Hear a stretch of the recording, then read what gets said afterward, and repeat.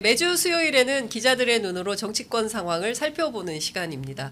오늘도 어김없이 경향신문 구교영 기자 그리고 시사인의 김은지 기자 두 분 나오셨습니다. 어서 오십시오. 네, 안녕하세요. 네, 아유 두 분만 오시면 제가 에너지 뿜뿜 힘이 납니다. 아, 펑펑 예. 좋습니다. 예, 기자분이 둘이나 있으니 얼마나 컨텐츠가 다양할지 네, 풍부할지. 저도 얹혀 가서 좋습니다. 힘을 내도록. 네. 아, 하여간 요새도 막 보면 오후에는 시사인과 네. 제가 경향 TV 보느라고 늘 가면서 막 이거 봐야지 이렇게 아. 챙겨서 보고 있다. 너무 재밌게 보고 있다 말씀드리고 여러분들도 함께 해주시면 좋을 것 같습니다. 아침에는 취재편이죠. 오후에는 아, 구경의 정치 비상고 그리고 김은지의 뉴스인 여러분 함께 사랑해 주시면 좋을 것 같습니다. 자 윤석열 대통령과 한동훈 네. 대표가 드디어 만났어요. 고기, 소고기, 돼지고기. 저는 한동훈 대표가 고기를 좋아하는지 이번에 처음 알았습니다. 예, 윤 대통령 감기 걸린 것도 이번에 알았습니다. 와병 중에 그 아이들한테 괜찮으신지 이런 문 저기까지 있었는데 전반적으로 그 보도의 내용은 맹탕, 빈손 뭐 이런 얘기가 많이 나와요. 왜 만난 거냐 이런 건데 구경 기자님 뭐 어떻게 취재하셨습니까? 아, 그 내용들 보면 언론 보도 내용을 액면 그대로 네. 전해드리면은 참석자들의 표현이 사실 과격한 부분도 있습니다. 음. 밖에 나가 얘기하기 창피해 죽겠다. 무거운 주제는 아예 안 나왔다. 결국 그 얘기는 뭐냐면은 의료 대란이라든가 김건희 여사의 문제라든가 최혜병 특검법이라든가 중대 현안들이 산적해 있음에도 불구하고 어제 만찬에서는 윤석열 대통령 중심의 체코원전 수주의 그 성과라든가 이런 것들의 주제가 집중되다 보니까 정작 정부를 견제할 수 있는 그리고 뭔가 감시해야 될 여당의 그런 레프트적인 입장에서 할 수 있는 얘기들을 거의 못 하고 왔다. 음. 민심을 제대로 전할 수 있는 기회조차 주어지지 않았다. 이런 평가를 할 수밖에 없을 것 같습니다. 그러니까요. 네. 한동훈 대표가 인사말조차 할 기회가 없었다. 네. 뭐 이런 얘기가 오늘 아침 라디오에서도 많이 쏟아진 것 같은데요. 어, 동아일보는 오늘 아침 그 일면 톱 기사가 어, 의료의 의 김건희의 김자도 안 나온 어, 회담이었다 이런 평가가 나왔습니다. 예, 그 대통령이 상당 부분 이제 발언 지분을 차지하고 있다 보니까 오늘 좀 재밌게 읽었던 게이 네. 이 소식을 전했던 정치 기사의 댓글의 베스트 댓글이 무엇이었냐면요. 김건희 얘기 꺼낼까봐 윤석열이 필리버스터함이라고 하는 댓글이 베스트 댓글이더라고요. 제목 잘 뽑아요. 야, 야, 진짜. 그러니까, 야, 네. 김은지 기자는 아 정말 제목 천재예요. 제목 네, 천재야, 그러니까, 네. 진짜. 아, 예, 필리버스터하고 댓- 예, 댓글을 다시는 어떤 시민의 분의 예, 센스라고 하는 야, 건데 훌륭하십니다, 예, 진짜. 그 정치 기사를 보는 눈이라고 하는 게 시민분들도 얼마나 뛰어난지를 좀 느끼게 그렇죠. 되는데 예. 본질을 딱 꿰뚫는 이야기가 아닐까. 네. 그리고 대통령이 워낙 말씀이 많다라고 하는 거는 그렇죠. 알려진 바이긴 예, 한데요. 그러니까 이 본질적으로 결국은 한동훈 대표가 본인한테 불편한 이야기를 꺼낼까봐 이 대화의 지분을 더 높인 게 아니냐라는 이야기인 거잖아요. 음. 네. 실제로 오늘 아침에 이제 김현정의 뉴스쇼에 나왔던 김종혁 이제 최고위원 음. 아무래도 한동훈 대표 쪽 의견을 대변하시는 분이다 보니까 그쪽 시각이 더 많이 들어가 있는 건 맞는데요. 그러니까 어, 화기애매한 분위기였다라는 취지 이야기를 하면서 예. 왜 만났는지 모르겠다라는 뉘앙스 이야기를 음. 계속 하더라고요. 예. 결국은 이제 뭐 분위기가 좋고 안 좋고는 중요한 게 아니다. 전할 수 있는 이야기를 했어야 되는데 그런 걸 전혀 못했고 한동훈 대표가 행여나 이제 어, 윤석열 대통령이 독대할 시간을 내줄 수 있을까봐 일찍 갔었다. 6시 맞아요. 10분 네. 정도 음. 일찍 갔고 그리고 끝나고도 혹시라도 시간을 내줄까봐 좀 기대를 했는데 어. 전혀 그런 게 없었다라는 예. 이야기를 하더라고요. 이어받아서 말하면은 네. 한동훈 대표와 일행들이 원래 예정된 만찬 시간보다 20분 일찍 가 있었다는 거죠. 음. 그 얘기는 뭐냐면은 혹시나 모를 깜짝 독대라도 있을까 야. 기대감을 가지고 갔고 아마 도착했으면 그 도착 수약이 아마도 예. 정상적인 대통령실의 업무 프로세스라고 한다면 대통령에게도 전달이 됐겠죠. 음. 그러나 그런 깜짝 독대라는 없었다는 것이고 그리고 대통령실이 이 만찬의 성격을 규정할 때 분명히 상견례적인 성격이 있다고 그랬거든요. 그렇죠. 우리가 통상적으로 대학이나 회사에서 상견례를 한다는 거는 음. 이건 대통령과 여당 지도 새로운 지도부가 만나서 첫 만남을 갖는 자리잖아요. 공식적으로는 네. 그렇기 때문에 그걸 어떻게 하면 보통은 대통령이 돌아가면서 대표부터 최고위원까지 한 마디는 들어보죠. 그렇죠. 그러니까 거기 간 최고위원들도 아마도 한 마디씩 할 줄 알고 준비를 해갔을 겁니다. 그렇죠. 우리 지역 민심을 들어보니 이러이러하고 예. 의사 직군에 있는 사람들 이러이러한 생각을 갖고 있다를 준비해 갔는데 예. 그 대화가 바로 한동훈 대표의 쉽게 화답도 없이 예. 대통령 일방 주도의 소통으로 진행되다 보니까 할 얘기조차 갖지 못했던 상견례라는 말이 약간 무색 한 정도의 대화였지 않았는가 음흠. 참석자들의 전언에 따르면 그랬기 때문에 약간 좀 맹탕이라 빈손이다 이런 얘기를 듣는 것 같습니다. 그러니까 원래 이 회동 원래 그 상견례는 사실상 하지 않았습니까? 음. 한동훈 대표가 들어선 다음에 낙선자까지 싹 다. 초청해가지고 밥을 한번 먹었잖아요. 음. 그러니까 그게 사실은 상견례에 해당하는 거고 실제로 이번은 추석 민심을 어, 네. 민심을 좀 정확하게 대통령실이 듣고 왜냐하면 지금 지지율이 어, 취임 후 최저치를 찍은 상태고 음. 또 의정 갈등 때문에 추석 때 내내 얼마나 많은 국민들이 불안해했습니까? 혹시라도 무슨 일이 터지는 것은 아닌가, 응급실 내란 나는 건 아닌가, 그래서 서로 조심하고 이런 분위기였는데 그 얘기를 좀 하러 갔는데 한동훈 대표한테 마이크 자체를 어, 안준 상황인 거고 어, 오늘 보도를 종합해 보면 아예 그런 얘기를 꺼낼 분위기 자체가 아니었다. 어 그러니까 도대체 무슨 분위기였길래 이렇게 그러니까- 회- 이렇게 네. 험악했던 거예요? 뭐 어떻게 아니, 봐야 돼요? 추가로 말씀을 드리면 네. 우리가 보통 얘기하잖아요. 형식이 내용을 결정한다. 일단은 모인 공간이 실내에서 이렇게 만찬을 한 게 아니고 5개 공간에서 만난 거예요. 음, 맞아요. 그리고 숫자도 이렇게 오밀조밀하게 대화할 수 있는 하나 테이블이 여러 개 음, 구성된 게 아니고 그러면 만약에 테이블이 여러 개면 대통령 중심으로 한 테이블 얘기하고 그렇죠. 최고위원 내- 누구는 누구 수하고 얘기 이럴 때 사회수하고 그렇죠. 얘기할 텐데 그런 게 아니고 다 같이 앉아서 하다 보니까 그럼 몇 명이 갔습니까? 원래는 30명 가까이 쉽게 얘기해 26명이 간 거잖아요. 예. 그러니까 여당에서는 지도부는 14명, 예. 대통령실 12명 참석했잖아요. 그리고 예. 중앙에 이렇게 쭉 앉아 나열해서 앉다 보니까 기본적으로 밀도 있는 대화가 이루어지기 어려운 환경이었다. 무슨 얘기를 하겠어요? 네. 거의 뭐 그- 그냥 저기 뭐 애국조의 분위기로 지나간 거 아닌가? 예. 교장 선생님 훈화 말씀 듣다 온 거 아닌가라는 생각이 좀 드네요. 예, 다만 좀 이제 다른 의견을 전해드릴 필요가 예. 있을 것 같은데요. 이제 아무래도 상대적으로 친윤이라고 분류되고 있는 음. 이제 김재원 최고위원 같은 경우에는 오늘 아침에 김종배 시선 집중에 나가서는 좀 다른 이야기를 하긴 했는데요. 어. 본인이 이제 어, 한동훈 대표와 윤석열 대통령 사이에 바로 앉아 있었다라고 하는 거죠. 그러, 어. 그러면서 가장 가까이서 봤었는데 내가 보기에는 한동훈 대표가 말 한마디 꺼낼 수 있었는데 아. 안 했다. 아, 한 대표가 안 한 거다. 예, 예, 그런 네. 식으로 또 이야기를 하고 아. 있어가지고요. 예. 그러니까 좀 각자 좀 라쇼몽 같은 상황인 것 같긴 한데 예, 그러니까 사실 근데 이제 형식상으로는 사실 이제 편하게 이야기를 꺼내기는 어려웠을 것 같고요. 근데 저희도 이제 진행을 하면서 느끼지 않습니까? 물 쓸 틈 없이 말 끊을 틈 없이 말씀하시는 분들이 그렇죠. 계셔서 언제쯤 들어가야 예, 되지? 맞아요. 초조할 때가 예, 있는데 맞아요, 맞아요. 아마 한동훈 대표도 그런 상황이었지 않을까 짐작은 어. 해보지만 또 김재원 의원은 소수 의견을 내고 예, 있긴 합니다. 그렇군요. 그러니까 전반적으로 윤석열 대통령이 59분 대통령이다. 이제 이런 소문은 많이 나 있고 특히 어, 상견례를 겸, 겸해서 대통령이 이번에 체코 순방을 다녀오면서 원전 세일즈를 굉장히 강조를 했기 때문에 그 성과를 어, 홍보하는데 상당 부분 시간을 할애했다라는 얘기가 좀 나오는데 그 네. 부분에 대해서 대통령이 좀 화가 난 것 같은 느낌을 받았어요. 왜냐하면 야당에서 이게 사실상 잭팟이라고 보기 네. 어렵고 경우에 따라서는 우리 정부가 훨씬 더 손해 보는 그런 협상이 될 수 있는데 이거 괜찮은 거냐라고 어, 문제 제기를 음. 하는데 그렇지 않다라고 세게 반박을 했다면서요. 그러니까 기본적으로 야당은 그럴 수 있다고 생각을 하는데 네. 여당조차도 체코 순방을 갔다 와서 원전 성과가 부각이 되는 상황이어야 하는데 네. 독대 여부를 가지고 또 정치면 기사 를 장식을 하다 보니까 대통령실 입장에서는 한동훈 대표가 얄미울 수 있는 거죠. 기본적으로 왜냐하면 야당은 그래 네. 우리 가지고 적자니 뭐니 하면서 비판할 수 있어. 네. 적어도 대통령이 순방 갔다 오면 성과가 있을 텐데 여당은 그래도 그 부분에 대해서 논평도 적극적으로 내고 대표도 원전 세일즈가 잘 됐다고 말을 해줘야 되는데 결론적으로는 만찬 앞두고 독대를 해주니 마니 가지고 이슈가 되다 보니까 그 부분에 대한 약간 불편한 감정 이런 것들이 드러났고 결국은 그 자리에서도 원전 성과를 계속해서 강조한 부분들이 이런 부분들을 여당이 잘 전달해 달라 민심을 조성해 달라 이런 의미 이지 않겠습니까 네. 기본적으로 네. 네. 그러니까 덤핑 아니다 이런 거잖아요. 그렇죠. 네. 예. 그리고 사실 야당에서 그런 주장들이 많이 나왔었는데 이제 물론 이제 끝까지 최종 계약이 made 돼야지 알 수 있는 부분이기 때문에 대통령이 2박 4일간 잠도 잘 못 자고 해왔던 일정에서 좀 섭섭한 마음을 가질 수는 있을 아, 거라고 네, 네, 봅니다. 네, 네.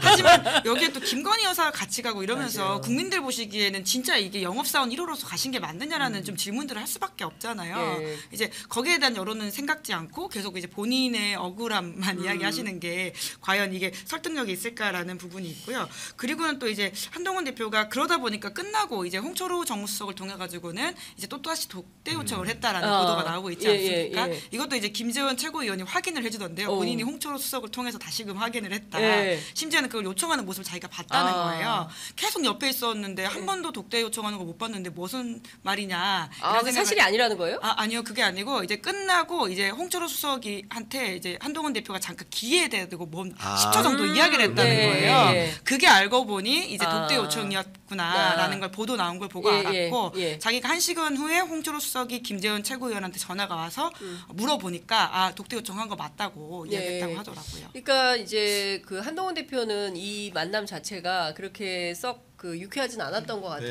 네. 그 오늘 아침 보도된 사진들을 종합해 볼 때 썩 표정이 이거 뭐지? 약간 이런 전형적인 네. 한동훈 대표 표정이 나오는 것 같고 그리고 대통령실에서도 공개한 사진이 딱 네 장밖에 없다면서요. 네. 그러니까 어, 이번 행사에 대해서 뭘 좀 이렇게 해야 되니까 하는 거지 이 행사를 통해서 뭔가 좀 대통령이 적극적으로 음. 여당과 소통하면서 어, 직면한 그 당면한 뭐 의정 갈등이나 이런 것들을 풀 생각이 있는 건가라는 question mark가 있습니다. 그러니까 기본적으로 취재 양태를 보면은 그 취재 기자들 전하는 바에 따르면 네. 이 상황에 대한 취재가 어떻게 이루어졌냐? 보통 같은 경우에는 정부와 여당이 만난다. 그러면은 만찬 같은 경우에는 오프닝을 공개를 합니다. 그래서 기자들 대표 풀 기자가 들어가서 이제 그렇죠. 스케치도 하고 무슨 얘기 했는지 멘트 적어 와요. 근데 이 경우에 같은 경우에는 전속 취재로 이루어졌다는 거거든요. 그러니까 대통령실에서 사진을 찍어서 제공을 하고 그런 내용들도 보도자료 줬다는 겁니다. 그러니까 그런 양태로 이루어졌다는 것 자체가 뭔가 불편한 상황이 있을 수도 있다라는 것을 일정 정도 생각한 게 아닌가라는 물론 제 음. 의심이지만 네네. 그런 생각도 드는 것이고 결국은 이제 90분간의 그런 만찬 대화 같은 경우가 영 양가 없는 형태 음. 한동훈 대표 입장에서는 그렇게 진행이 되다 보니까 귓속말 했다는 내용이 오늘 보도를 통해 전해졌는데 음. 오늘 얘기를 전혀 할 분위기가 아니지 않았냐 그러니까 빠른 시일 내에 자리를 만들어 달라 네. 드릴 말씀이 있다. 음. 이렇게까지 했다는 거예요. 네. 그러니까 결국은 뭐냐면은 만찬 분위기라든가 대화의 진행 양태에서는 도저히 내가 손쓸 방법이 없었으니까 어. 뭔가 당이 전하는 민심을 꼭 얘기할 수 있는 기회를 달라 이렇게까지 했다는 거거든요. 한동훈 대표가. 근데 전해진 기사에 따른 코트가 그렇게 돼. 있습니다. 네. 네. 근데 이게 보기에 그러니까 결국 시민의 입장, 기자 입장에서 보기 참 답답한 게두분 다 당 대표와 대통령이지 않습니까? 그렇습니다. 사실 큰 정치해야 되는 분들인데 만나니 많이 가지고 지금 몇 달째 싸우고 있는 게 과연 국민들 보기에 좋냐라는 생각이 드는데요. 윤상현 의원이 일요일 오후에 전화해서 만나실 수 있는 분이잖아요. 그러니까 한동훈 대표도 그냥 직접 전화해서 네. 보자고 이야기를 하고 혹은 뭐 이렇게까지 메시지가 나왔으면 사실 윤석열 대통령 입장에서도 좀 큰 정치하는 모습으로 그냥 잠깐 마- 보자 하고 싶은 이야기 뭐냐 다 들어보자 이렇게도 할수 네. 있는 건데 왜 둘 다 여기서 이렇게 공전을 하고 있는 건지가 음. 답답하고 좀 안타깝고 사실 좀 시민의 입장에서 좀 화가 나는 부분이기도 그러니까 합니다. 이제. 과거 정부에서 이제 음. 정무수석이나 이런 했던 분들 얘기를 들어보면은 네. 기본적으로 이렇다는 거예요. 그러니까 그 대통령과 여당의 대표가 만나게 되면 은 음. 통상 저 돌발적으로라도 어 예를 들면 가정입니다만 한 대표 음. 옆방 가서 잠깐 얘기 좀 하지. 그렇죠. 이렇게 예, 해서 예, 이제 예. 같이 얘기를 하고 온다거나 끝나고 나서 이제 잠깐 이렇게 밀담을 그렇죠. 나눈다거나 예. 이런 형태로는 어쨌든 간에 돌발적인 형식으로라도 독대가 있어 왔다는 겁니다. 그러니까 음. 한동훈 대표도 그런 걸 기대하니까 먼저 가 있었겠죠. 네. 근데 그런 예상과 다르게 진행이 된 것이고 이후에도 잠깐 남아서 부른 일도 없었고 이렇게 된 건데 결국 그런 상황이 결정적으로 뭐였냐 이 만찬이 있기 전에 국무회의 석상에서 대통령이 한 발언이 주목이 되는 거예요. 지금 여당은 여러 가지 아젠다가 있지만 아마도 한동훈 대표도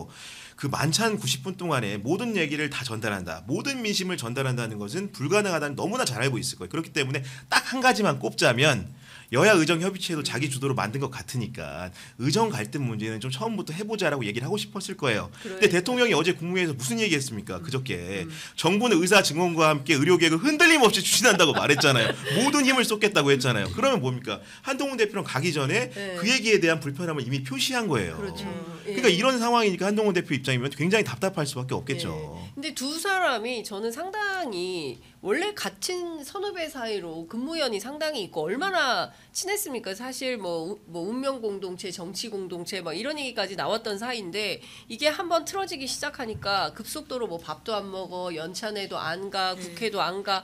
사실은 국회 개원식도 87년 이후에 처음 안 간 게 사실 한동훈 네. 대표 때문에 안 간 거 아닙니까? 윤 대통령이? 뭐- 아니면 아니라고 말씀해 주세요. 아니, 원래 오래 만난 네. 연인이 헤어지면 안 봐요. 아, 돌쇠인가? 아시잖아요. 예. 아, 그렇구나. 더 상처가. 크구나. 예. 아니 설령 그렇다 하더라도 여당 대표 그 네, 김은지 네. 기자님 말씀하신 대로 여당 대표고 대통령인데 만나서 통 크게 좀 화합할 거 화합하고 네, 해결할 네. 거 해결하고 이래야 정치의 진전이 있는 건데 그게 하나도 없는데 근데 전 대통령실의 그 어, 그 풀이 전 되게 좀 재밌다고 표현을 해야 될까요? 어, 참으로 따뜻한 자리였다. 그리고 분위기는 시종일관 화기애애했다. 이거 어떻게 봐야 됩니까? 그 부분 때문에 아마 오늘 김정혁 최고위원이 완전 예. 다른 이야기를 한 게 아닌가 싶습니다. 예, 예. 화기애매했다라는 식의 이야기인 건데요. 네. 분위기가 그렇게 좋지 않았다라는 말을 완전히 똑같은 일을 겪고도 이렇게 다르게 말을 하는구나 싶어서 음. 안 만나니 못한 자리가 아니었나라는 생각이 들기까지도 합니다. 어, 그러니까 지금 제가 보기에는 이런 상태가 계속된다고 한다면 이후에도 독대는 있겠습니까? 아마도 이제 대통령실에서는 당연히 한동훈 대표가 사실상 공식적으로 제안한 거 아닙니까? 오늘 네. 만찬은 뒤로 하고 예. 독대 자리를 만들어 주십시오. 제가 드릴 말씀이 있습니다. 이렇게까지 했기 때문에 음. 사실 안 하게 될 경우에 누가 더 타격을 입게 될 것인가? 아마도 대통령 국정을 운영하는데 네. 야당도 아니고 여당과 파트너십을 발휘하지 못한다. 음. 아마 국민들의 평가가 아직도 국정 지지율이 낮은 상황에서 네. 더큰 피해를 입는 쪽은 대통령이라고 음. 생각을 하거든요. 그렇기 때문에 언젠가는 만들어야 되는 상황인데 그 상황이 또 언제가 될 것인가? 지금 의료 대란뿐만이 아니고 김건희 여사와 관련된 여러 가지 보도라든가 결정들이 쌓이고 있어요. 음. 그러니까 어떻게 보면은 중대 현안을 풀고 다음 문제로 넘어가야 되는데 계속 그런 현안 해결을 못 하다 보니까 또 하나가 쌓이는 겁니다. 그럼 한동훈 대표 입장에 다음번에 갈 때는 의정 갈등만 얘기하겠습니까? 그렇죠. 김건희 여사 문제도 훨씬 더 직격할 수밖에 없게 되는 거예요. 음. 그렇기 때문에 시간을 뜸을 들이면 들일수록 독재 자리를 피하면 피할수록 정치적으로 손해를 감수해야 하는 지금 대통령식으로 보인다. 음. 그런 고민이 지금 봉착할 수밖에 없고 결국은 참모들이 그런 계산을 빠르게 해서 네. 만나는 게 결국 국민들도 편하게 하는 길인 것으로 보입니다. 네. 그러니까 명분은 한동훈 대표가 가지고 있거든요. 음. 그리고 시간도 한동훈 대표의 편일 것입니다. 그런데 한동훈 대표가 가지고 있는 약점이 뭐냐면 당장하기 지금 안 되고 있다라고 하는 부분이에요. 리더십이 너무 허약하다. 그러니까 이렇게 명분이 좋고 시간으로 봤을 때도 본인의 상황이겠지만 지금 이제 버티고 있는 리더십은 유일하게 외부 지지, 그러니까 인기라고 할수 있는 것들이거든요. 근데 지난 추석 직전에 시사저널에서 굉장히 한동훈 대표로서는 좀 뜨악한 여론조사가 나왔습니다. 한동훈의 경쟁력이라고 하는 게 대야 파트너에게 쉽- 쉽게 이길 수 있는 사람이다라고 하는 어. 것인데요.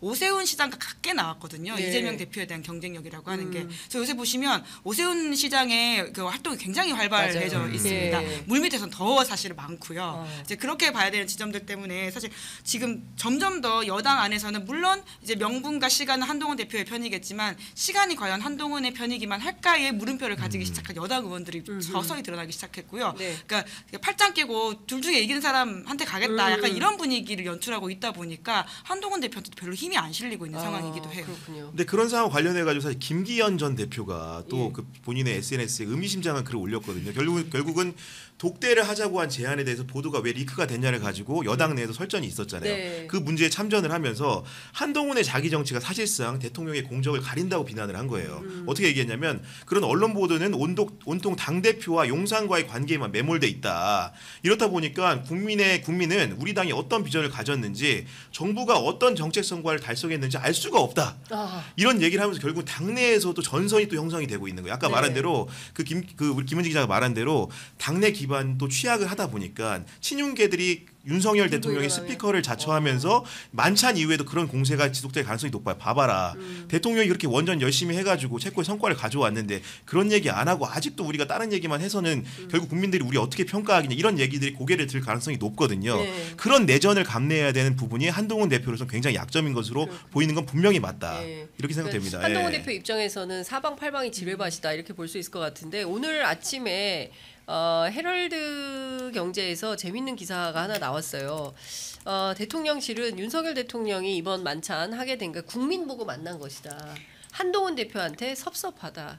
그리고 좀 관점이 많이 다른 것 같습니다. 일단 어, 윤석열 대통령이 우선 어, 만나서 손도 내밀었다. 그리고 우리 한 대표라고 언급했다. 아. 예, 그냥 말한 게 아니- 우리 한 대표, 그냥 한 대표가 아니라 우리 한 대표라고 얘기했다. 이거를 지금 어, 강조를 하고 있고요. 또 하나는 한 대표 취향을 고려해서 우리가 음식도 챙겼다. 이것도 한 대표를 고려한 것이다. 어, 술 마시지 않으니까 오미자차, 어, 만찬주 대신에 오미자차 준비했고 또 우리 한 대표가 좋아하는 어, 아 고기를 좋아해서 소고기하고 돼지고기를 직접 준비를 했다. 그리고 커피도 우리 한 대표를 위해서 뭐 드실래요? 했고 어, 윤 대통령의 그 차가운 음료를 좋아한다는 것도 좀 설명을 해줬다. 그러니까 계속 그 얘기를 하고 있어요. 그러니까 무슨 얘기냐면 어, 윤 대통령이 계속 얘기해서 한 대표는 발언권도 없었다, 건배사도 못하게 했다, 그리고 대화할 분위기가 전혀 아니었다 이렇게 하니까 오늘 아침에 대통령실에서 당혹감과 섭섭함을 아. 어, 감추지 못하고 어, 한 대표에 대해서 우리는 이렇게까지 만찬주도 안 하고 오미자차 준비해 고기 네. 좋아해서 고기까지 저 준비했어 그리고 우리 한 대표가 뭘 좋아하는지 메뉴도 직접 물어봤어 이렇게까지 했는데 어 이거 섭섭하다. 아, 결정적이게 빠져 있죠. 네. 제로 콜라가 없지 않습니까? 아 예. 오미자차가 예, 아니라 제로 콜라 완벽하게 맞춰준 건 아니다. 아니다. 예. 왜 오미자차냐? 제로 콜라가 있었어야 예, 됐다. 여기서 시그널이 나왔다. 대통령실에서는.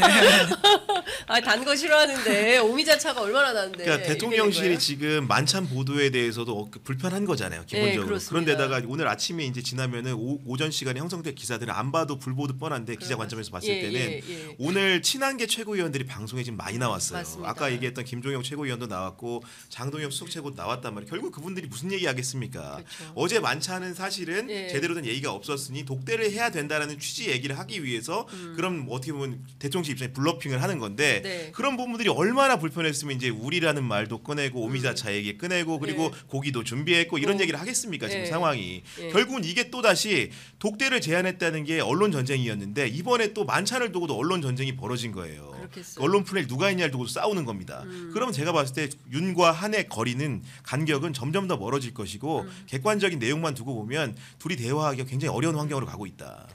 사실 그 야당은커녕 지금 대통령하고 어.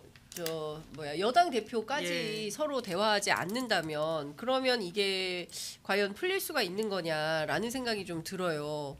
어 어떻게 보세요, 김은지 기자님? 그러니까 지금 대통령은 이제 그런 부분에 있어서의 가치를 두고 있지는 않는 것 같고요. 이제 버티는 시기라고 음. 하는 강한 믿음을 가지고 있는 것 같습니다. 그러다 보니 지금 어, 한동훈 대표가 저렇게 이야기하는 것들 그리고 김건희 여사 관련해서 터지는 것들은 잘 버티고 넘어가면 결국 나는 역사의 평가를 받을 것이다라고 하는 강한 믿음을 갖고 있는 것으로 보이거든요. 네. 이제 그러다 보니 지금 이러한 모양새가 계속 연출되고 있는 게 음. 아닌가 싶습니다. 근데 문제는 가장 큰 문제는 이 서로 양자 간의 그 대통령이라는 사람 그리고 여당의 대표라는 사람이 공적 인물 두 사람이 이렇게 갈등함으로써 그런 그 불신 비용을 누가 감내해야 되냐 문제예요. 음. 결국 국민들이 피해를 받는 거예요. 의정 갈등 속에서 환자가 피해를 입고 그렇습니다. 그리고 예를 들면은 뭐 김건희 여사 관련 여러 문제라든가 사과받고 싶은 국민의 마음이 또 있잖아요. 결국은 그 피해는 고스란히 국민에게 갈 수밖에 없다. 네. 음. 이 불신 비용이 양자 간의 그런 뭔가 감정 소모적인 다툼이 끝나는 게 아니고 네. 공적 인물 굉장히 중요한 공적 인물 두 사람의 싸움이기 때문에 음. 그게 큰 문제인 겁니다. 네.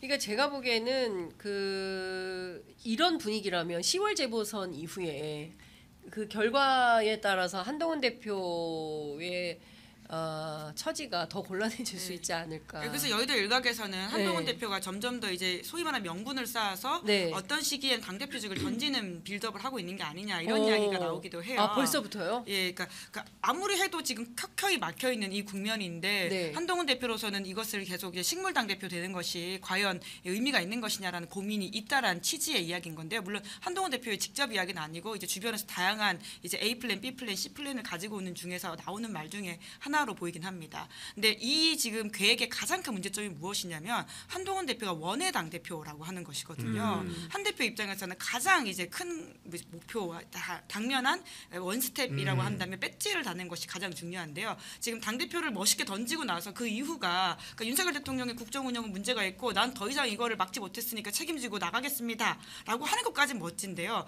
그 이후에 잊혀질 가능성이 있다라고 하는 부분 그렇죠. 때문에 굉장히 여러 고민이 있다는 이야기를 들은 바가 있습니다. 그러니까 저도 그 얘기를 좀 들었는데 한 대표가 제일 후회하는 게 지난 총선에서 배지를 달지 않은 것에 대해서 굉장히 그리고 배지가 있었다면 윤 대통령이 만나줬을 거다. 왜냐하면 제2결 때 표결이 중요하기 때문에 아, 한 명, 예, 예. 네, 한 표에 해당하기 때문에 만났을 것이다. 이제 이런 얘기가 지금 나오는 건데 중요한 포인트는 지금 김건희 여사 문제가 계속 일파만파 커지고 있지 않습니까? 이 공천 개입 의혹과 관련해서 음. 네. 내일 아침에 새벽 6시에 또 뉴스토마토에서 추가 보도가? 이제 네. 나올 예정이고 또 서울의 소리는 다음 주에 또 보도를 한다는 것이고 음, 이거 말고 그 외에 다른 또 사건들이 여러 매체에서 보도를 준비 중에 있다라는 소문이 돌고 있기 때문에 만찬에 앞서서 한동훈 대표도 김 여사 관련해서 여러 중요한 사안 중에 하나다라고 직격을 했어요. 그러니까 그런 측면에서 보면 대통령실이 특히 윤석열 대통령이 굉장히 어, 불편해 하고 있는 거 네. 아닌가라는 생각도 좀 듭니다.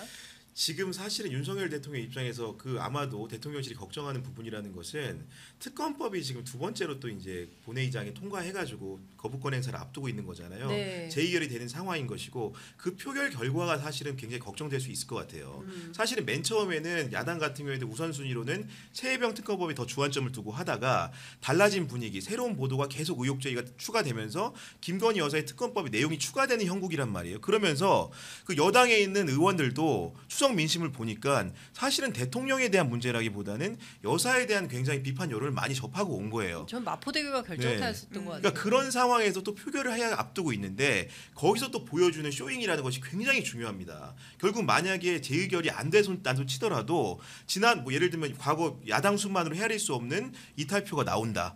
그거는 사실은 그 이후에 다른 불씨가 생긴다면은 더 나갈 수 있다라는 예고편인 거거든요. 그런 부분들이 너무 걱정될 겁니다. 지금 상황 대통령실은. 네. 그렇죠. 그치 지금 근데 사실은 윤석열 대통령 내외가 지금 동시다발로 문제가 될 수가 있어요. 그렇죠. 어제 네. 한밤에 결정된 수사심의위원회 에, 내용도 완전히 판이 뒤집혀 버린 거거든요. 물론 수심위 결정이 어, 뭐 반드시 검찰 수사에 반영돼야 되거나 이건 아니고 이제 참고 사항, 권고 사항 네. 정도이긴 합니다만 이 여론이 앞으로 어떻게 가겠습니까? 결코 그 윤석열 대통령 내외에게 유리하진 않을 것 같아요. 예, 여론만이 아니라 검찰 장악에 대한 불안감을 대통령이 가지기 시작했다라고 하는 것도 전 중요한 포인트일 거라고 음, 보는데요. 네. 물론 지금 총장을 바꾸긴 했습니다. 이제 그럼에도 불구하고 엊그제부터 시작됐던 JTBC 보도 굉장히 의미심장하다고 맞습니다. 보거든요. 예. 그러니까 김건희 여사의 도이치모터스 주가 조작 사건과 관련돼 있는 새로운 사실들이 드러나기 시작한 맞습니다. 건데 예. 2020년에 도이치모터스 주가 조작 사건 수사가 막 시작되려고 하던 때 김 여사가 먼저 이종호 씨한테 전화를 했다. 그렇습니다. 그리고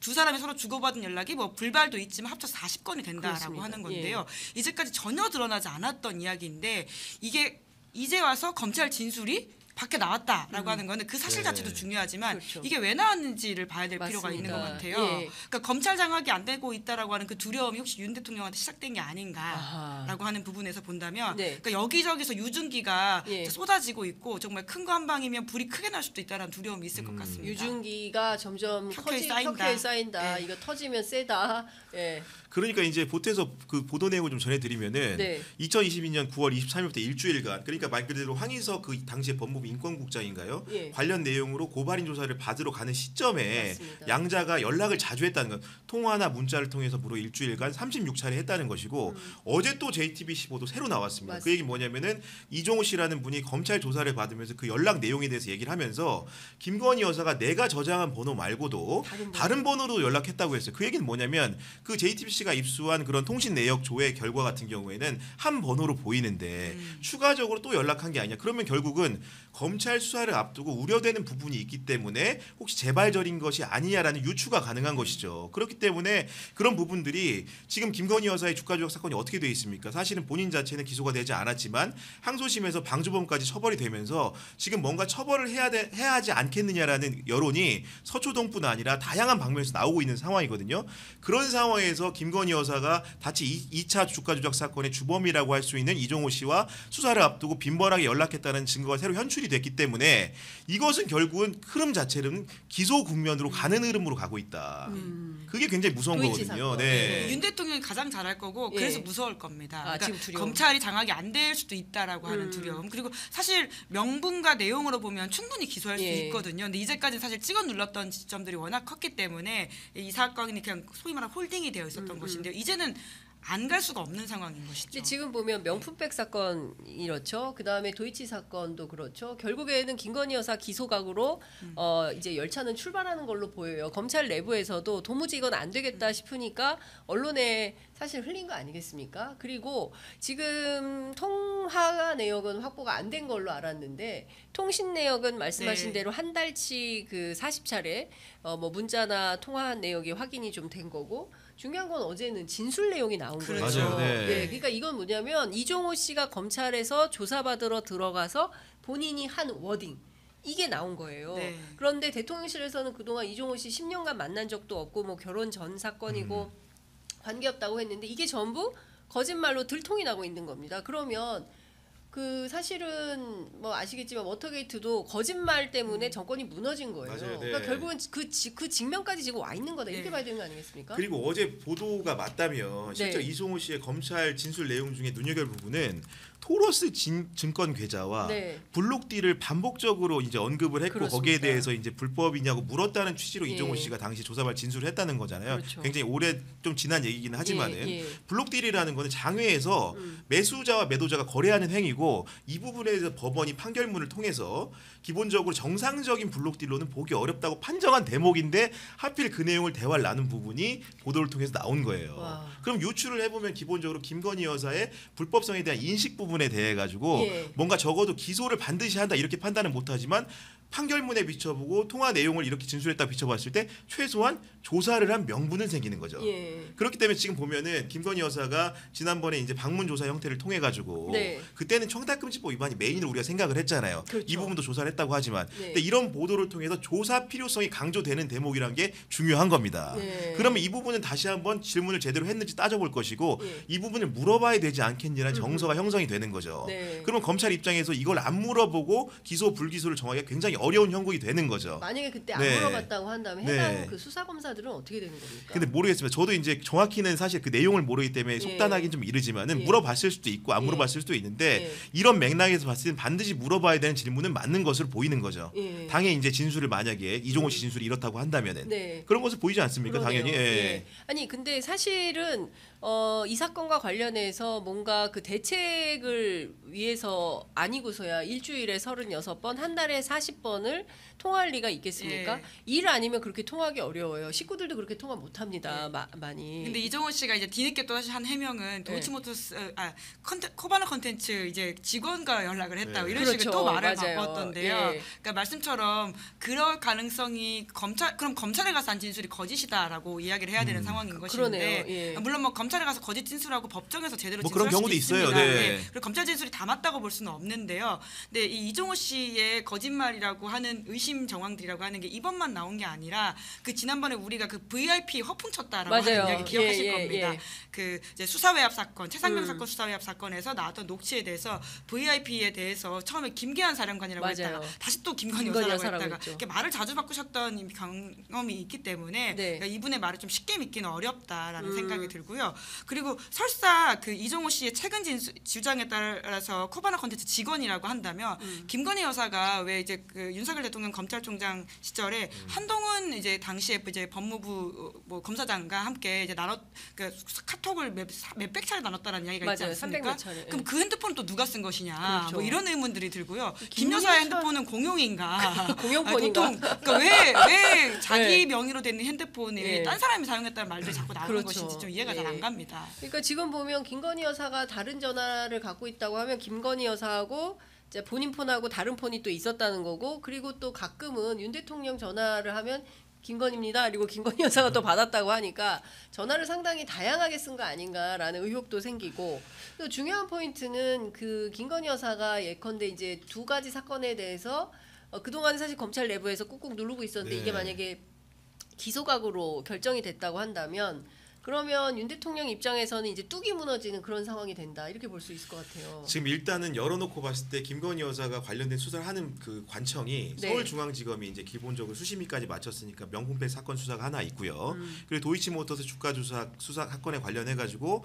김건희 여사의 기소 불기소 여부를 결정할 반부패 수사 2부에 또 부서가 있는 것이고 네. 그리고 유관 사건으로는 지금 창원지검에서도 사건이 벌어진 거예요. 그렇죠. 그 명태균 씨와 김영선 전 의원의 그런 금전 거래, 수상한 금전 거래에 대해서 선관위가 이제 사건을 보낸 것이고 거기에 대해 수사가 본격화된 상황인데 이건 역시도 혹시 공천의 전말을 둘러싸고 김건희 여사의 개입 여부가 중점이 된 상황이기 때문에 지금은 관리할 뚝이 또 많아진 겁니다. 아. 늘어나고 있는 거예요. 네. 그렇기 때문에 그 뚝이라는 게 무너질 것도 하나를 틀어막을 때는 괜찮은데 이제는 어떻게 보면 창원에서도 혹시나 그런 일이 있을 수도 있기 때문에 또 눈여겨 봐야 되고 또 제3의 사건이 나온다고 하면은 관할청이라는 거는 범죄 발생 소재지를 기준으로 하기 때문에 또 늘어날 수 있는 겁니다. 네. 그러니까 사람이라는 게 좁은 걸 가지고 관리할 때는 뭔가 이, 뭐 어떻게 통제할 수 있을지 모르겠지만은 음. 다층적으로 여러 군데서 물이 셀 때는 다 틀어막기 어려운 겁니다. 네. 그런 위기에 봉착하고 있다. 예. 네, 저는 그래서 특검이 중요하다고 생각을 아, 하는데요. 예. 그러니까 지금 이렇게 4년 동안 아무 말하고 있지 않던 검찰이 이제 와서 이렇게 언론 플레이를 만약에 한다라고 한다면 그 검찰이 제대로 수사를 얼마나 할 수 있을지에 대한 의심이 들 수밖에 없고요. 음. 그리고 아주 기능적으로 이야기를 해보자면 특검이 출발한다라고 하는 시그널이 나오면 검사들이 수사를 열심히 합니다. 예. 우리가 최순실 특검 때도 봤던 맞아요. 것들인데요. 2016년에 최순실 특검이 출발할 때 그때 그 전에 앞서서 검찰 특별팀이 있었거든요. 그 팀들이 굉장히 음. 맞아요. 수사를 했다 안 했다 하다가 특검이 출발하니까 또 어떤 그 굉장히 동력을 가지고 했던 모습들을 봤기 때문에 이 기능적으로도 이 특검이 굉장히 중요한 지점에 들어섰다라는 음. 생각이 듭니다. 그 2020년 9월 23일 김건희 여사와 이종호 씨가 통화를 주고받은 그 시점에 어, 남편은 윤석열 검찰총장 현직 총장 시절이었습니다. 물론 김, 그 어, 국민의힘과 대통령실에서는 끊임없이 당시에 문재인 정부였고 문재인 정부에서 탈탈 털었는데 아무것도 안 나오지 않았냐라고 했지만 실제 남편이 현직 검찰총장이었기 때문에 뒤로는 이런 일들이 있었지만 제대로 수사하기 어려웠던 형편이 있었던 거 아닌가라는 의심이 가능하고 어 고로 어 4년 6개월 동안 이 사건에 대해서 제대로 수사를 못했는데 지금 대통령 지지율이 최저치로 빠지고 뭐 이러면서 일파만파 사건이 음. 점점 커지고 있는 거 아니냐 거기다가 공천 개입 의혹 사건까지 네. 계속 커지고 있기 때문에 사실상 경우에 따라서는 과거에 있었던 최순실 게이트처럼 명태균 게이트가 아니라 김건희 게이트로 비화할 가능성이 점점 높아지고 있다. 이, 런 시각인데 어떻게 보세요? 그러니까 기본적으로 지금 그 야당에서 특검법을 발의할 때도요. 네. 그 의심하는 혐의가 여덟 가지에 달합니다. 그리고 이제 기본적으로 또 거기에서만 그치는 것이 아니고 계속해서 이제 확산되고 있는 상황이거든요. 다른 의혹들이 더해지는 형국이기 때문에 예. 그 수위 난도라는 것을 국민들이 판단을 할, 때, 할 텐데 임계점이 넘게 되면 검찰이한테도 페달을 밟을 수밖에 없는 겁니다. 음. 그리고 그 예를 들면은 그 어제 그 그저 그저 어제 나온 거죠. 어제 나온 뉴스토마토 보도 같은 경우에는 네. 명태균 씨와 사실은 김영서 씨 양자를 통화했고 아, 네, 그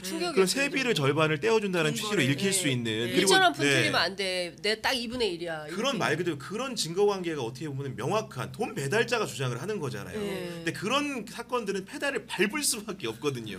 그러니까 그 페달의 종착역이 결국은 어떻게 이루어지? 공천을 그럼 누가 준 거냐라는 문제로 이어질 수밖에 없는 거고 그렇죠. 김영선 전 의원이나 명태규 씨 같은 경우 일단은 김건희 여사의 직접 공천 개입 가능성을 부인하고 있지만 네. 그들이 당시에 나눴던 대화라든가 음. 그리고 이제 토마토가 취재 기자들이 본 장면들은 다른 얘기를 하고 있는 거거든요. 음. 근데 금품 관계는 분명하기 때문에 그 배경을 밝히는 일들 네. 그것은 멈출 수가 없어 보인다. 어. 네, 더 이상. 네. 지금 뉴스토마토 서울의 소리 이제 열심히 달리고 있는데 우리 시사인과 경향신문도 어떻게 추가 보도를 합니까? 이 명태균 씨와 네. 관련해서는 의혹이 너무 차고 넘치는 것 같은데 제가 이것 좀 여쭤볼게요. 네. 어제 화제가 됐던 사진이 이 명태균 씨가 뭔가 작심을 한 걸로 보이는데 그 두 청년 정치인이 매화나무 심는 새벽 4시에 이 화제가 좀 되고 있어요. 어, 식수였다. 기념 식수였다. 뭐가 문제냐. 이제 이런 네. 그 반박도 있긴 합니다만 그 새벽에 왜 홍매화였을까? 네, 그 개혁신당에서는 우선 그게 그 주지스님도 거기 계셨었고 어. 이게 뭐 같이 이렇게 네. 하는 상황이어가지고는 심은 것이지 뭐 이렇게 특별한 의미가 있는 것은 아니다라고 밝히고 예, 있긴 합니다. 예, 예. 하지만 보통 사람들이 새벽 4시에 나무를 심는다고 하는 것이 흔한 일은 아닌데다가 그렇죠. 그 시간에 그 그러면 홍매화가 준비되어 있었다라고 하는 것도 굉장히 좀 의아한 일이긴 하잖아요. 음. 보통 어디 가도 흔하게 홍, 홍매화가 있어가지고 오늘 좀 마음이 좋았는데 심어볼까 이러진 않지 않습니까? 그렇죠. 예, 그러다 보니까 보통 이 퍼포 먼스는 무엇이고 예. 또 하필이면 또 이 명태균 씨가 이거를 공개한 이유는 무엇이냐라고 볼 수밖에 없는 지점이 좀 있는 것 같은데요. 그렇죠. 네. 물론 뭐 개혁신당에서는 이러한 것이 본질이 아니라 김건희 여사의 공천 개입 의혹의 핵심이지 자꾸 이쪽으로 몰면 안 된다 이런 주장을 하고 있긴 합니다. 아니 물론 그 얘기도 네. 맞는 얘기긴 한데 저는 그 왜 홍매화냐 뭐 이런 그 아주 네, 아니 홍매화 꽃말은 이제 강인한 생명력이라 그래요. 예. 그러니까 끈질기게 정치권에 살아남아라. 네. 개혁신당이라는 아. 개문 발차했기 때문에 이렇게 좋은 의미라고 해석할 수 있는데 네. 저는 사진 공개된 사진 있잖아요. 그렇죠. 게 보면 은 흡사 이제 어떻게 범죄의 한장면 같은 그런 심야 새벽에 막히네. 보면 이게 아마도 차 조명 헤드라이트를 켜놓고 어. 그리고 뭐 삽질을 한다는 거는 이게 사실은 범죄 스릴러 영화에서 새벽에 볼 수 있는 예. 장면인데 예. 그래서 전 궁금한 게 홍매화를 심었잖아요. 그러니까 각자의 마음이 좀 궁금한데 음. 이준석 의원은 이제 손으로 이제 어, 인중 부분을 만지고 있는 부분이 찍혔고 네. 우리 천하람 그 원내대표 는 열심히 땅을 네, 파는 파는 모습인데 모습. 과연 누가 당선되라고 이렇게 심어온 것일까? 한 그루 심었는데 네. 또 이제 둘다 당선됐습니다. 둘 다 당선됐어요. 예, 예. 그래서 이제 어제 저희 프로그램 출연한 김철근 사무총장은 홍매화 심었더니 당선됐잖아. 아.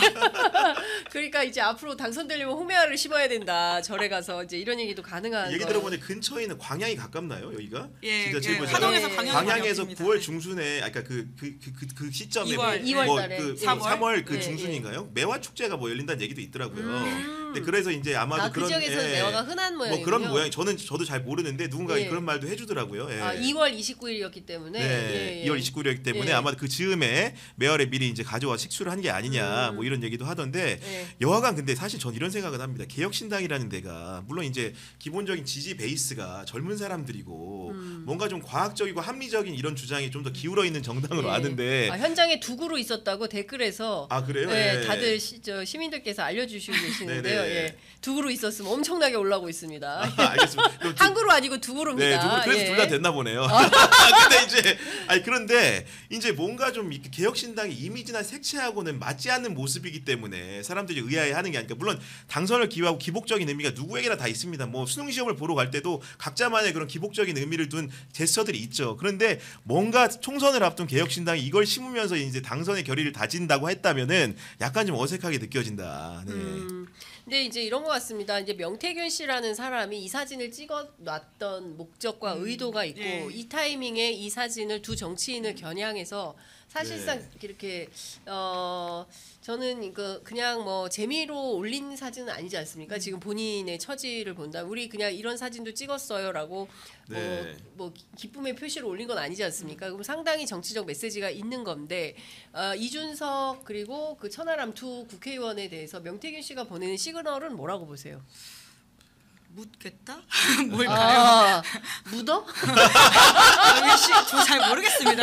사실 너무나 좀 이례적이고 이상한 장면들이어서 새벽 4시에 나무를 심는 모습도 참좀 근데 뭔가 좀 낯설고요. 이제 예. 그냥 뭐 이건 철- 철저한 상상력인데 네. 봐봐라 너네 심어서 당선되지 않았냐 아. 뭔가 이제 이런 그 칠불사에서 모임이라든가 여러 네. 가지 조성에 예. 아마도 김영선 전 의원이 있으니까 간 거잖아요 그런 네. 공간적인 조성이라든가 이런 퍼포먼스 같은 경우에는 명태균 씨도 당연히 관여가 돼 있을 거 아닙니까 그러니까 이제 너네들의 근본을 생각하라는 의미인지 아. 예를 들면 그리고 실제로 그 명태균 씨가 우리가 밖에 알려진 것처럼 아예 뭐 예를 들면 무지랭이 이런 건 아니라고 합니다 실제로도 그렇죠. 여론조사 네. 업계 전문가고 그렇기 때문에 중진 의원들이나 이런 사람들이 자주 접촉하고 했던 것도 insight가 있으니까 만났겠죠. 음, 그 그렇죠. 정도의 구력이 되는 사람들이 김영선 의원도 마찬가지일 거고 네. 그렇기 때문에 아마도 이런 사진 공개 이면에는 그 사태의 전말을 가장 잘할 수 있는 사람이 우리가 누구라고 생각합니까? 솔직히 김영선과 명태균을 제외하고는 이 두 사람이에요. 음. 맞아요. 그러니까 그런 근본의 문제를 뭔가 명태균 씨는 알려주고 싶지 않았을까라고 하는 가벼운 추측을 해봅니다. 네. 음. 근데 사실 그 청와대 개방했을 때 국민들이 상당히 좀 의아했던 장면 중에 하나가 그때도 이걸 뭘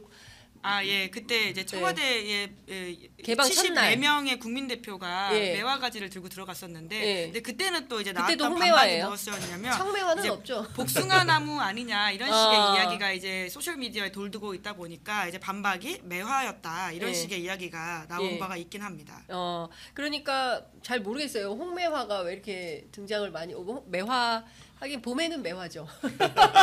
여기 매화 하나 한 그릇 하나 매화. 하나 네. 저희도 하나 매화 하나 심을까요? 구독자 60만 돌파 위해서 지금 보니까 네. 구독자 60만을 위해서 식수 하나 하시죠 여기다. 우리 네. 저기 셋이서 하나 매화 하나 나무씩 매화나물 하나씩 네, 심읍시다. 예. 문화재청에서 그렇게 밝혔다고 하네요. 아, 그, 그 당시만. 하더라도 이제 예. 복숭아 꽃이다 뭐 이런 식의 아. 이야기가 많았었나 봐요. 예, 예. 예. 네, 주술적 하여튼 의미를 예, 주술적 예. 의미로 이 정부에 들어서 홍매화가 많이 등장하고 있다. 그런 차원에서 우리 세계 매체도 동시에 한번 매화를 한번 심어보자. 100만 기원. 저희, 저희는 과학과 함께하는 방송으로. 네. 과학과 함께하는 방송으로. 예. 네. 알겠습니다. 근데 여하튼 지금 명태균 씨와 관련해서는 계속 사건이 커지고 있고 다양한 취재 내용이 나올 걸로 보여서 어, 결국에는 제가 보기에는 어, 상당히 예, 다들 어려워지는 국면으로 갈 수밖에 없다라는 생각이 좀 들고 그리고 김영선 의원 같은 경우 이거는 전형적인 매관 매직 사건으로 처벌 대상 아닙니까? 예, 물론 이제 본인은 이 모든 것을 지금 부인하고 있고요. 이제, 네. 이제 언론과 인터뷰를 조금 하기 시작해서 나왔던 음. 메시지를 보면 그 이 씨라고 하는 분 제보자에 대해서는 횡령 혐의로 고발했다라고 하고 김건희 여사는 전혀 관련이 없고 텔레그램도 없다 이렇게 주장을 하고 있긴 합니다. 네. 근데 문제는 결국은 이제 금전 거래의 그런 여부를 보는 거잖아요. 왜 거래했는가. 음. 근데 보면은 그 김영선과 명태균의 해명이 또 달라요. 그러니까 다르다는 거는 뭐 결이 다르다는 얘기가 아니고 김영선 전 의원 수사 내용이 보도되자마자 이제 MBC하고 통화를 했는데 거기 보면 보궐선거에서 회계 책임자가 선거 비용으로 사비 9천만 원을 썼다 그래가지고 내가 2020년 8월부터 올해 1월까지 국회의원 월급 일부를 쪼개서 갚았다. 그런 양상으로 설명을 하고 있는 거예요. 네. 근데 이제 뉴스토마토의 보도를 보면은 그런 게 아니고 명 씨와 김영선 사이에서 돈 배달을 한 사람의 증언으로 보이죠. 음. 돈 배달자의 증언과 어긋나는 진술을 하는 겁니다. 명태균 씨는 어떻게 얘기했습니까? 자신의 페이스북에다가 빌려준 돈 6천만 원 받는 것도 문제가 되냐? 음. 그 얘기는 창원지검 수사가 6천만 원으로 알려져서 그런데 이러면 스텝이 이제 꼬이는 겁니다. 음. 기본적으로 배달한 사람의 증언과 전혀 다른 측면의 얘기를 하고 있고 금액도 다르잖아요. 네. 그러면 검찰 수사기관 입장에서는 봐봐라 삼자를 조사할 수밖에 없는 환경으로 가고 있는데 음. 이런 섣부른 해명이 이런 결과를 점점 초래하고 있는 걸로 또 보인다는 겁니다. 그렇죠. 근데 지금 중요한 포인트는 그 복판에 김건희 여사가 등장을 한다는 것이고 서울의 소리에서 보도한 바에 따르면 어, 이원모 전 비서관을 공천을 용인해 주기 위해서 어, 이철규 의원이 실제로 어, 대변을 했었다. 김건희 여사를 대변하고 실제로 그 저 공천 개입의 창구 루트는 이철규였다라고 이제 김대남 전 선임행정관이 주장을 하고 있는데 물론 아, 이철규 의원 등은 다 부인하고 네. 있습니다. 에, 김대남 전 이제 행정관도 이 사게 다 사실이 아니고 이제 고발하게 고소하겠다라고 해가지고는 법적 조치하겠다라고 밝히고 있긴 한데요. 네. 근데 이제 문제는 이제 그러려니 의심했던 것들에서 계속 이제 어떤 정황 증거들이 추가되고 있다라고 하는 것이거든요. 네. 사실 김건희 여사가 국정에 개입하고 있다라고 하는 의혹은 어제 오늘 나온 이야기가 아닙니다. 음. 저희가 아마 작년에도 이런 맞아요. 의혹들을 했을 것이고 그러다 보니까 아예 대정부 질문에서 이제 박지원 의원 같은 분은 영부남 윤석열 대통령 음. 김건희 아니냐라는 식의 이야기까지 한 바가 있 거든요. 그러니까 이러한 이게 시- 그 V1, V0가 누구냐라는 이야기들은 심지어 조선일보 칼럼에서까지 나올 네. 맞습니다. 정도로 이제 저작거리에 파다한 이야기인데요. 이것들이 이제 뒷받침하는 정황 증거들이 하나씩 나오면서 네. 이것들의 힘이 좀 더해지고 있다라는 것이죠. 물론 이제 음. 김대남 전 행정관이 경기 용인감에서 경쟁자이기 때문에 당시의 진술의 순수성을 사실은 의심은 해봐야 되는 건 맞는 것 같아요. 음, 음. 다만 이원모 비서관의 이제 공천 경로를 다시 이제 뒤집어 보면 네. 용인갑이라는 데가 어떤 데냐. 기본적으로 2012년이죠. 19대 총선부터 세 번 내리 보수 정당의 후보가 당선된 곳입니다. 그러니까 그게 음지라고 하긴 어려워요. 음. 물론 이제 이원모 비서관이나 이제 다른 사람 입장에서는 강남 의뢰 원래 사실은 출마했어 하려고 했고 네. 거기에 공천 받으면 양지지만 용인으로 갔다는 건 경기도는 기본적으로 민주당판 아니냐 음. 이렇게 생각할 수 있지만 그 중에서는 분명히 양지는 맞는 맞아 보인다는 것이고 그리고 이제 공천의 과정을 보는 건데 김대남 전 행정관이 억울했던 부분은 그런 거겠죠. 나는 이미 깃발을 꽂았는데 제 3자가 날라와서 그 단수 공천을 쉽게 얘기해서 우선 추천을 받은 거예요. 우리 옛날 말로 하면 전략 공천을 받은 겁니다. 음. 경선 없이 후보가 확정이 된 거예요. 그러다 보니까 아까 말한 대로 경기도 중에 양지로 갔고 우선 추천을 받았다는 부분 음. 그런 부분이 사실은 공천에 있어서 특혜가 아니냐라는 의혹을 경쟁자들은 충분히 제기할 수 있는 여건이었다고 봅니다. 네. 결국은 그 배경에 그러면 그렇게 배경 된 배경에 무엇인가 를 밝히는 게 지금 기자들이라든가 수사기관의 몫일 거고요. 그런 부분들이 하나 더 자해진 것이고 근데 재미있는 점은 음. 네. 두분다 음. 뭐 김대남 전 행정관도 그렇고 이현모 비서관도 그렇고 둘 다 대통령실에 나와서 입후보를 한 거잖아요. 그렇죠. 근데 이원모 비서관은 다시 백해서 공직기강 비서관이 됐고 그리고 김대남 전 행정관도 일자리를 찾아 SGI 서울 그 보증인가요? 거기 상근 감사위원인가 거기 가신 그렇죠. 거예요. 네. 총선 후 일자리를 두 분 다 찾았어요. 또 재밌게도.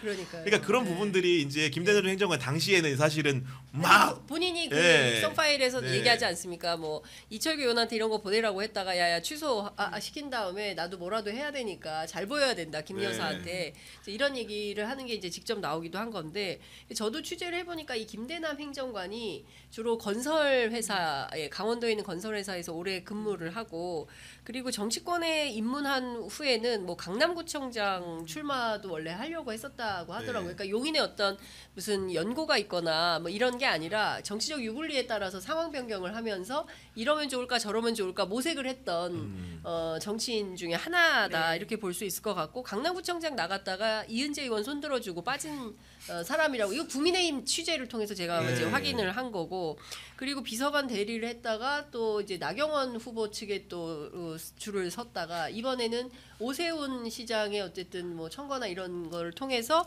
SGI 상임 감사위원으로 간 거 아, 니냐 그 서울 보증이기 네, 때문에 서울 보증이기 때문에 네. 오세훈 시장이 없이는 또 불가능하다는 거예요. 그러니까 아, 이분 그렇구나. 입장에서는 네. 계속 라인을 번갈아 갈아타면서 결국에는 본인의 어떤 정치적인 그 어, 또 욕망을 실현하기 위해서 뭐 이랬다 저랬다 하는 것이다. 이제 국민의힘 내부에서도 이분에 대해서 그렇게 좋게 평가하는 분위기는 아니에요. 근데 이랬다가 결국에는 이런 문제까지 터트리는 거 아니냐. 서울의 소리 이명수 기자를 왜 만나냐. 이제 이제 국민의힘 내부에서는 이런 비판이 있는 겁니다. 결국은 어, 자신의 정치적 목표에 따라서 이렇게 저렇게 하다가 결국에는 어, 대통령실 먹칠하고 있는 거 아니, 아니냐라고 국민의힘 사람들은 비판을 하고 있어요. 이건 그냥 이거는. 그 가벼운 얘기인데 예. 이명수 님 여기도 나오셨잖아요. 이명수 기자? 예. 네, 나왔죠. 굉장히 매력적이신가 봐요. 왜냐면은 사실은 김건희 여사도. 이렇게 이제 얘기를 예. 하고 어떻게 보면 장시간 통화를 했고 이분도 사실 그런 일이 있은 이후에 사실은. 한 거 아닙니까? 네. 총선 즈음에니까 음. 그런데도 이렇게 이러저런 얘기를 했다는 게 뭔가 좀 굉장히 근데 매력적인 제가 분 같다. 보기에 예. 그 우리 같은 기자는 아니에요. 아, 아, 그래서 그러니까 막 네. 300만 원짜리 백을 사가지고 막 드- 들여보내고 막 이런 게 어, 우리 같은 기자는 아닌 것 같다. 네. 특별한 매력이 있는 분이다. 네. 임지욱 네. 기자 표현에 따르면 언론계 마동석이다. 아. 그러니까 FM은 아니지만 네. 놀라운 초식으로 많은 맞아요. 것들을 예. 바꾸고 있다. 전혀 다른 초식으로 세상을 바꾸고 있는 하더라고요. 기자입니다. 예. 예. 그러니까 뭐그 우린 그렇게 못해.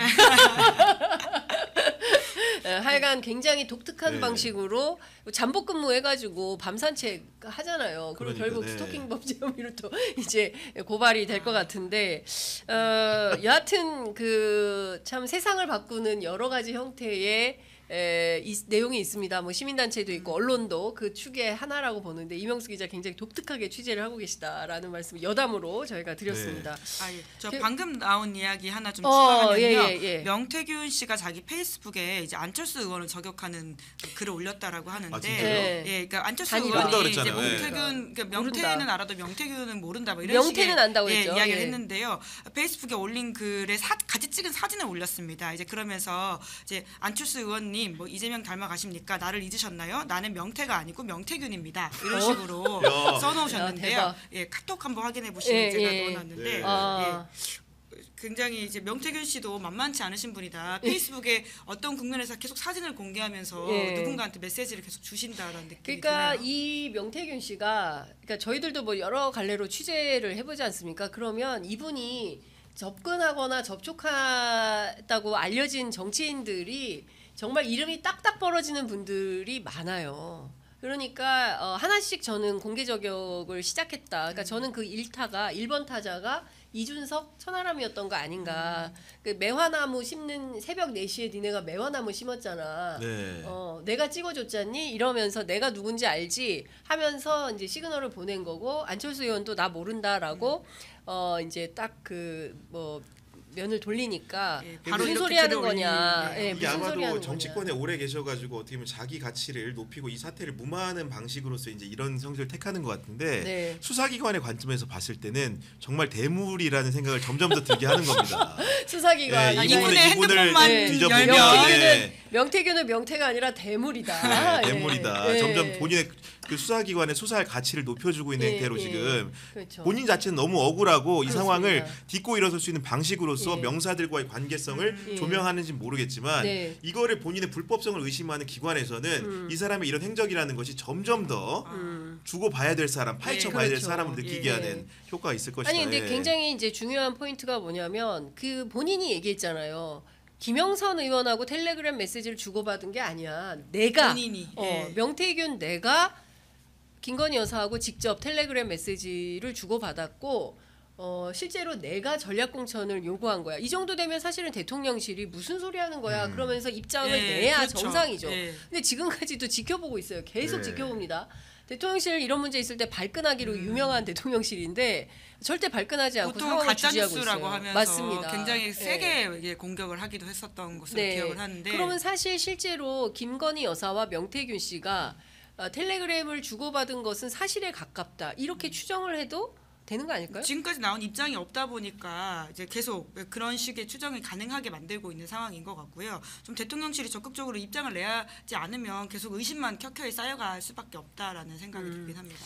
김건희 여사 사과는 언제 하는 겁니까? 지금 그 지난 그 국민의힘 당 대표 선거 과정에서 본인은 적극적으로 명품백 사건에 대해서 사과하고 싶었는데 이른바 이제 한동훈의 벽에 막혀가지고 어, 사과를 못한 것이다라고 이제 뭐 문자 익십 논란으로 어, 프레임을 만들었지만 결국은 지금까지도 네. 김건희 여사는 그 어떤 현안에 대해서 사과 한마디 한 적이 없어요. 그러니까 정부 여당 입장에서 생각해 보면은 사과의 타이밍이 너무 아쉬운 거죠. 음. 사실은 김건희 여사 수심이 이렇게까지 갈 것도 없었던 게 그 뭐 갈 것도 없었다고 단언하진 않습니다만은 기본적으로 명품백 사건이 불거졌을 때 본인이 직접 빠르게 사과했다라고 한다면은 수사기관에서까지 이런 문제를 진지하게 다투거나 혹은 수심위를 통해서 뭔가 결론이 달라지는 양상들을 과연 만났을까. 그리고 이제 결국은 명품백만 지금 사과해야 되는 국면이 아닌 국면으로 가고 있는 거잖아요. 네. 다양한 의혹들이 더해지면서 또 다른 해명을 요구받고 있는 상황이 됐기 때문에 음. 그 문제의 그 질이나 양을 더 키우고 있는 겁니다. 음. 그렇기 때문에 이제는 사과로 되겠습니까? 그러게요. 네, 사과할 타이밍은 지나갔죠. 네. 이미 끝났다. 수사받으셔야 네, 네. 이제는 될 수사밖에는. 예. 뭐 네. 그러니까 여권의 말이 지금 뭐 사과하면 사건 더 커진다 뭐 이렇게 하는데요. 그러니까 그와 별건으로 이제 사람들이 사과를 한다고 해서 마음이 달래지거나 아 그러면 이거는 한번 이제 끊고 가- 끊고 가자라고 여길까라는 생각이 음. 들거든요. 더 쌓이고 있는 의혹들에 대해서는 명확하게 수사를 받고 그 수사에 대한 결과 책임을 지는 것이 음. 그 법 앞에 평등이라 그리고 또 윤석열 대통령이 강조하면서 대선에서 나왔던 그 캐치프레이즈 공정과 상식에 부합하지 않겠습니까? 사실 너무 늦었죠. 예. 음. 지금 수사 들어가는 것들도요. 그러니까요. 네. 지금 보면 그 도처에서 그 뭐 제가 취재하는 기자들의 전언을 종합해 보면 지금 창원에서 터졌잖아요. 그리고 용 용인에서 터지지 않았습니까? 그리고 다른 지역도 아, 먹구름이 딴 데도 껴 있나요? 이 먹구름 먹구름이. 지금 전국에 오늘 장성준 선생님 저희 방송 나오십니다. 아 장성준 네, 선생한테 오늘 나오니까 네. 네, 먹구름 지도 한번 그려달라고. 네. 클라우드 장이라고 예. 요새 예, 클라우드 장이라고 아, 클라우드 부르십니다. 예. 예, 클라우드 장의 그 먹구름 어, 지도를 한번 어느 지역으로 오늘은 먹구름이 낄지 한번 지켜봐야 되지 않을까 싶습니다. 어, 지금 댓글창에서 뭐 이명수 기자 연락 두절 저, 저희는 잘 모릅니다. 저 아, 왔다 가셨습니다. 저희 저희 이제 3시 방송한 일에 이 피제 편의점에서 오늘 동접자가 제일 많은 것 같은데요. 아 그래요? 네. 어 2만 천 명. 네. 예, 이 와중에 또 부경 기자님 셔츠 예쁘다는. 너무 부러워서 그러니까 좀 저희도 좀 와주세요.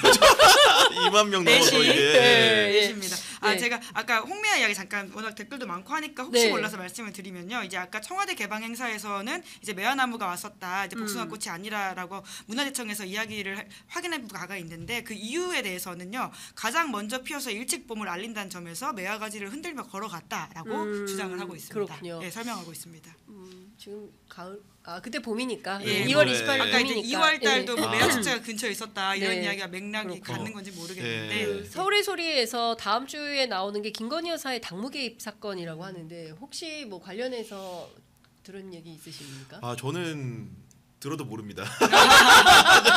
사실은 뭐 저도 내용을 이렇게 그분들과 공유하지 않기 때문에 근데 네. 보니까 지난번 1차 진행을 할 때도 뭐 최경영 그 선배라든가 네, 뭐 네. 장인수 기자라든가 뭔가 이제 기성 언론에서 굉장히 legacy 미디어에서 활약했던 분들이 나와가지고 음. 뭐 진행을 하시더라고요. 아마도 그분들이 뭐 검증을 하셨다고 하니까 아마도 그 뭐 또또 다른 그런 거대한 내용의 의혹 제기가 음. 있지 않을까라는 추정을 가벼이 해봅니다. 예.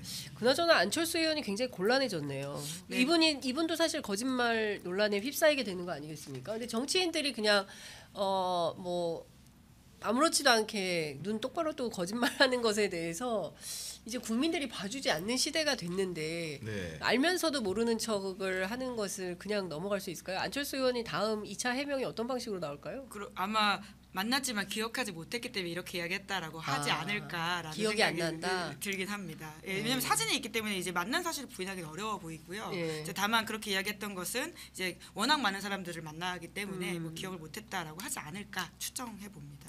근데 사진은 그럴 수 있어요. 왜냐하면 워낙 많은 분들하고 사진을 찍으면 어느 맞아요. 분하고 예. 사진을 찍은 저도 현장 취재를 많이 나가면 이제 어, 사진 찍자고 하시는 네. 분들이 많긴 예. 하는데 저도 사실 잘 모르는 분들이 많기 때문에 사진은 그럴 수 네. 있겠다라는 생각이 좀 드는데 명태균 씨가 이렇게 안철수 의원을 저격하듯이 어 당신 나 정말 몰라 이렇게 하는 거기 때문에 네. 진짜 모른다고 할 수 있는 것인지 어, 아닌지에 대해서는 그 안철수 의원의 어떤 그좀 차분한 해명 이런 게 필요하지 않을까. 근데 이거는 싶습니다. 사실은 정말 알았냐 모르냐를 인식할 수 있는 지표라는 건 어디서 네. 어떤 이유로 만났냐인데 이 사진이 보면 뒤에 배경이 도자기가 있어요. 음, 아 그러네요. 예, 그러니까 이게 기본적으로 봤을 때 뭐 모르겠습니다. 찻집인가? 어, 찻집인지 어딘지 모르겠는데 네. 그런 장소적 성격이 규명이 되면 네. 실제로 안철수 대표가 인식 여부가 약간 가려질 수 있지 않을까. 음, 그러니까 이게 왜 네. 중요한 거냐면요. 단일화 때 이제 명태균 씨가 맞아요. 관여했다라고 예. 하는 보도가 나오면서 이제 안철수 이제 의원도 관련해서 부인을 하면서 많이 네. 나왔던 부분이거든요. 그렇죠. 근데 사실 본질적으로 그 당시에 명태균 씨가 어떤 직책이 있었는지 아직도 확인이 안 되고 있는데 이 양쪽 캠프로 오고 가면서 그 단일화 거강권을 했다라고 하는 것도 사실 지금에 와서 보면 이게 무슨 일이지라는 생각이 좀 들긴 합니다. 그렇죠. 러니까 굉장히 규명하고 본질적으로 봐야 될 문, 문제 들이 참 많다라는 음, 생각이. 들고요. 그러니까 소위 이제 명태균 씨를 통해서 한국 정치 가 어떤 방식으로 어떻게 특히 보수 진영에서 국민의힘 내부에서 어떤 일들이 있었던 것인지에 대해서는 정말 기자들의 그 다양한 취재를 통해서 좀 확인되고 알려져야 되지 않을까라는 생각이 좀 듭니다. 아, 두분 오늘 너무 재밌었습니다. 동접자도 최고로 네. 찍어주시고 그리고 예. 광양 매화 축제는 예. 보통 3월 중순에 열리 찾아보니까. 아, 네. 3월 중순 3월 10일부터 19일, 뭐 예. 3월 8일부터 17일 이렇게 아, 열렸네요. 그렇군요. 예. 2월 29일인데 좀 일찍 뭐 일찍 가져왔나 준비했나라는. 예. 생각이 좀 드네요. 여하튼 어, 홍매화에 대한 어, 관심은 저희도 계속 가, 가지고 있도록 하겠습니다. 뭐 뉴스공장이 취재를 갔었나 봐요. 현장 아. 취재를 가서 두 그루인 것을 확인했다라고 아, 저희 네네. 데, 댓글창에 어, 저 뉴스공장에서 그 들으신 분들이 근데 많이 다른. 국회의원일 수도 있죠. 아, 그게 뭐한 사람만 한 게 아니고. 실무사 예. 굉장히 영험한 예, 그러니까 뭐두 그루가 있는 건 맞을 수 있는데. 쌍계사비에 있고 뭐 예. 뭐 다른 또 그루가 있을 수도 있는 부경 거기 기자의 때문에. 추가 의혹 제기. 아, 예, 추가 취재. 제목 달지 예. 마세요. 그런 거 가벼운 양 겁니다 아, 지금. 예. 알겠습니다. 오늘 두 분 말씀 잘 들었습니다. 아, 다음 주 뵙겠습니다. 네, 고맙습니다. 감사합니다. 감사합니다.